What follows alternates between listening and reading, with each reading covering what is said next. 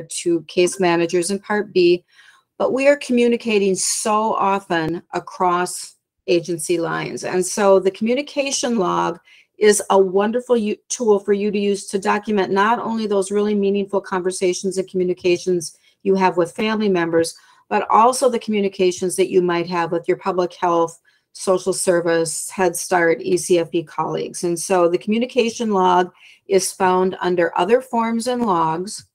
And when you open it up, it gives you a drop down of what's the, you know, who are you communicating with and what is their relationship to the student um, for whose, on whose behalf you are communicating. And you'll see the list of options that show up in SPED forms. I would really encourage you to review what shows up for you. And if the things that in early intervention you would like to see included aren't there, like Head Start or childcare or ECFE colleague, you can certainly ask your district administrator to create some additional drop downs that are available within your district that are not um, currently SPED forms options. Um, within the, the communication log, there is a place to document um, who is the, who are you contacting? Who's, you know, their phone number, that basic contact information, the reason for initiating the contact, a place for notes from the conversation, and then the contact method. Was it a phone call? Was it an email? Was it a, you had a face-to-face? But it's any of those communication opportunities that you would like to document. Again, the person icon shows up there. So if it's someone who you've taken the time to put in your team member list, all of those contacts, all of this information will fill in, you know, at least the top information will fill in automatically with just a click. Once you've got those communications in there, you're also able to search your communication log. So, you know, for example, if you're thinking, oh, I know I talked to the public health nurse, you know, about Fitzwilliam, and I've just got to remember what was it she said? I could search for that contact. I could search for my public health nurse. I could, I think, oh boy, I know it was between, oh, it was last spring sometime, sometime between March and the end of the school year. I could put in those search dates and help me zero in to find what was that communication log entry that I made specific to that individual and this child. Um, it's important to remember that the communication log transfers with the student. So I think as early intervention professionals, we are always positive when we're communicating with families and others, but just making sure that you remember that your this contact log does transfer with the student to another SPED Forms district. Periodic review, we're going to touch on this briefly, and there's one new thing that's coming regarding the periodic review. So this is um, the IFSP menu, and it is called Progress Report. So know that this is the periodic review form. And remember that an IFSP must be reviewed at least every six months. And so, you know, in a perfect world, we'd hold an IFSP, you know, we'd write the IFSP on January 1st. You know, six months later, we'd hold a periodic review. Six months later, we'd hold the annual review. So we've got all those at least every six month reviews. If for a, a family or child related reason, you know, we write the plan in January and we need to meet in April because something's changed and we're going to add a service or change something significant, then the next review has to be within six months. We can't wait until the next January. So just know that it's we're reviewing every six months. So this is that progress reporting document. And if you have an IFSP that's been finalized in SPED forms, your, your outcome statements will pop in there automatically. And there's a place then for you to identify whether or not you're going to continue the outcome, whether it was accomplished, whether you're going to modify it in some way. Um, so it's just that wonderful place for you to document where kids are at at that, you know, that at least every six month interval. Um, so this is what that looks like in its entirety. There is a checkbox that's down at the bottom that says copy from most recent progress report. So this is within the IFSP itself. So if you fill out the progress review document, you can insert that information right into the body of the plan if that's um, your district's preference. One of the things I mentioned that something new was coming, um, SpedForms is creating what is called a standalone periodic review. And it is for those kids who move into your district and their IFSP was created by a district that didn't doesn't use sped forms or maybe they moved in from out of state with an IFSP that you're able to implement. It allows you conduct to conduct a periodic review without the requirement that the child uh, and family outcomes are moving in from a finalized sped forms plan. So that is something new um, that was created in response to all of the districts that have come to sped forms recently from student plans when student plans decided to no longer um, exist as a due process software package. Um, also required by for service coordinators is other big responsibility that you have is to facilitate the development of a transition plan whether it's a plan to preschool to school or if appropriate to other services and so the ifsp in that transition plan must include the steps and services from part c either to preschool services under part b and you'll see I've crossed out Part C services under 303.211. That's a, what's called the Part C extended option. Um, and it's something that Minnesota has chosen not to implement. And so for Minnesota, it's transition to preschool services under Part B or other appropriate services. And this is the um, what is required federally in terms of transition that it, it the um, steps and services that need to be documented in the IFSP include discussion with and training of parents as appropriate regarding future placements, procedures to prepare the child for changes in service delivery, and the identification of transition services and other activities that the IFSP determines are necessary. And so SPED forms within the IFSP document, the transition section captures that one of the important first steps that each IFS team, IFSP team has to take when the child um, is in that transition window is to determine is the child potentially eligible for services under Part B or not. Um, and so it also provides an opportunity to document for those kids that are determined to be professionally or potentially eligible have you already established eligibility? So have you done a simultaneous C and B evaluation and established that initial eligibility? And the reason that's critical is if you've determined that the, child is indeed potentially eligible for Part B, then the transition conference requirement kicks in, which isn't required for kids that are not potentially Part B eligible. So I'm just going to emphasize this is not required for children younger than two years, three months. It's for those kids in the transition window. So you don't have to decide when a child is born, is this child potentially eligible? You can wait until two years, three months. It's just that has to be determined before the child is two years, nine months, so you can meet the transition requirements. Okay, so coordinating transition if the child is potentially eligible, and remember you've got the I, your this is an IFSP or a child served through an IFSP. In this potentially eligible under Part B folder, all of the documents that are typically used to establish initial eligibility under Part B are provided for you so that you don't have to be flipping back and forth between the IFSP and IEP um, drop down on the top of the, the forms menu. It just puts them all there for you.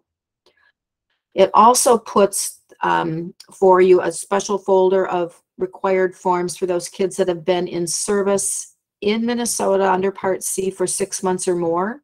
So it's those accountability requirements of the child outcome summary form, the family outcome survey, and the cover letter that is associated with the survey. So those things are there for you. So again, for you and you as Part C service coordinators are the one managing those critical activities that are part of transition. Documentation in the IFSP itself, an initial evaluation for service under Part B for those kids that are potentially eligible, and then the accountability components for those kids that have been served in Minnesota for six months or more. So SPED Forms makes all of those things easy for you because they're all served up in really intuitive ways. The child outcome summary form has been 2.0, and there are a few things that I believe will be, we're, we're bringing the child outcome summary form to the SPED Forms ECSE Advisory Board for some review and input. But I just want to share with you what's there currently so you can, you know, everything that you need is there. We just want to make it a little more intuitive. So when you go into the Early Childhood Outcomes Summary Form tab on in the Forms menu, it gives you multiple pages to be completed.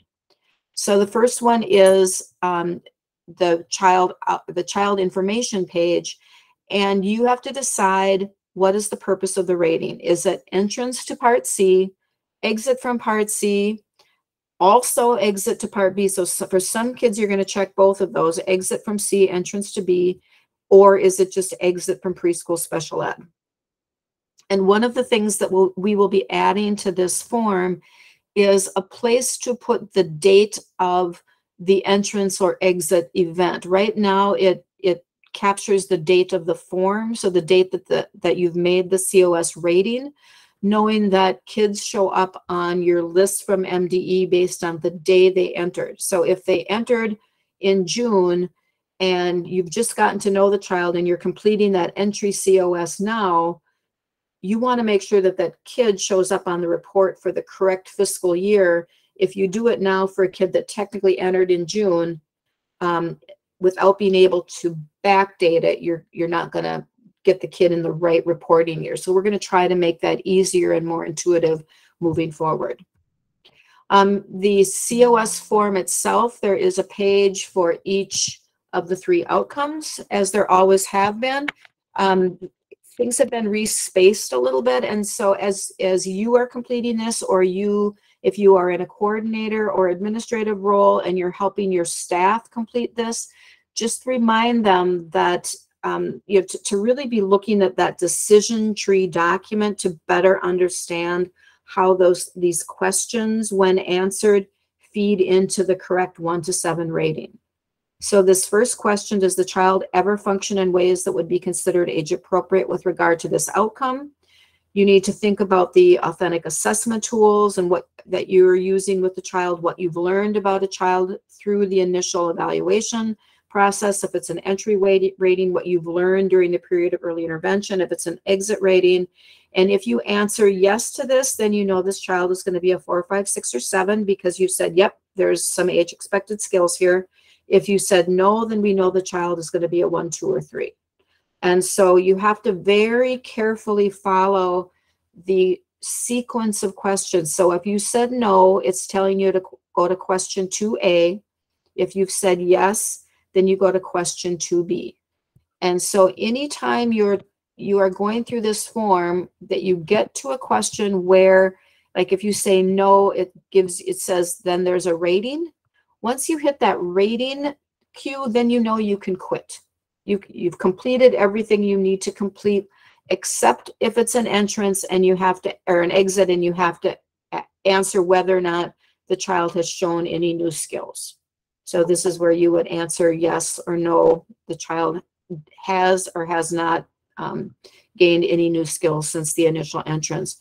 The spacing of these questions makes it a little less intuitive than the COS than the child outcome summary form that was part of version one. So just really be looking for what is, and I'll actually give you an example of um, kind of what I'm talking about here. In question, um,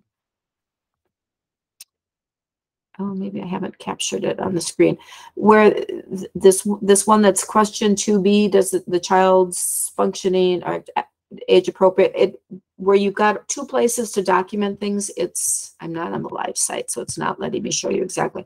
But you just really want to watch for those um, pieces where the, the question has two, if you answer yes or no, it has two different places to do the documentation. And it's not immediately intuitive that both text fields are tied to the same question. So I really take a look at the new layout. Once you're used to it, I think it'll it'll feel just like the old layout but it looks just a, looks and feels just a little bit different than the COS form did in 1.0. And then um, the final page of this is for kids at exit who have a hearing loss. and it captures all of the data that the Department of Education collects on behalf of the Department of Health for reporting as part of their early hearing detection and intervention initiative. And so we've worked to make sure that the questions and the code set is exactly like um, what MDE is asking you for. So that when this information that you enter gets pulled into the report that you can generate from um, within SPED forms, it'll make it much easier for whoever does the actual data entry to get this information um, to MDE in a way that's accurate and complete. Talk briefly about educator reports. We've got just a couple of minutes and I just want you to know that they're here. So you can access educator reports again under your hamburger menu. So the, the reports themselves look just a little bit different, but when you go in there, this is what the searchable reports look like. There are also quick reports. Um, so this is the, the list that you see on your screen right now is the searchable reports. And when within those searchable reports, you get to do some filtering as you're creating the reports. So if you are an educator, you can pull a combined report, it's called, that shows students that you plan manage or um, students that have been shared with me if you also want those. Um, you can put in um, a few additional data elements. You can create a time parameter as you're creating your combined report. And these are the data elements that get pulled into the combined report. So if you are one of those people who at the start of the year create a spreadsheet of things for, you know, specific to the kids that you serve or that you are the service coordinator for, this will give you a jump start on that spreadsheet that you might always create just because anything that you pull out of a combined report can be um, exported as an Excel document for then you to manipulate and add additional data to if you so choose. Um, a couple of the things that you might want to know are there. One is um, which kids have progress reports in student history so that if there are any that you've missed, it helps you become more aware of those. Um, a really lovely new feature with quick reports is that you can create a favorites list.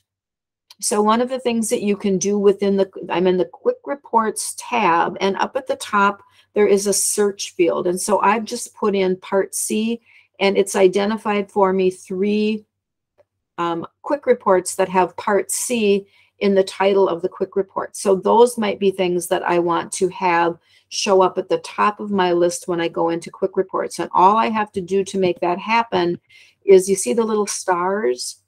I can check, click the stars, they show yellow on the screen, and then they will always show up at the top of my quick reports list. So those things that are most important to me as a teacher, most important to me as an administrator, become part of my quick reports favorites list.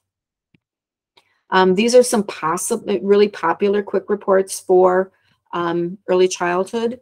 And you can see there's a list of kids birth to three, kids birth to four. You can generate mailing labels.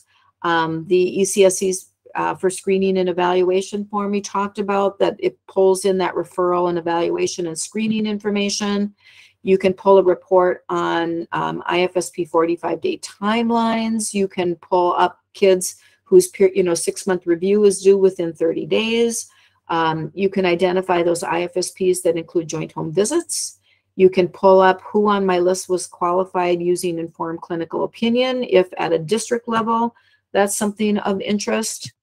Um, and again, this is what that looks like when I've highlighted my favorites. So all of the things that I'm most interested in as an early intervention service provider now show up at the very top of my quick reports list. So I might not have to search quite so hard in the future. My favorite things are there. And I think that's where we're going to stop. And uh, we've got a few minutes for any questions that remain. And I'm going to stop sharing my screen so I can see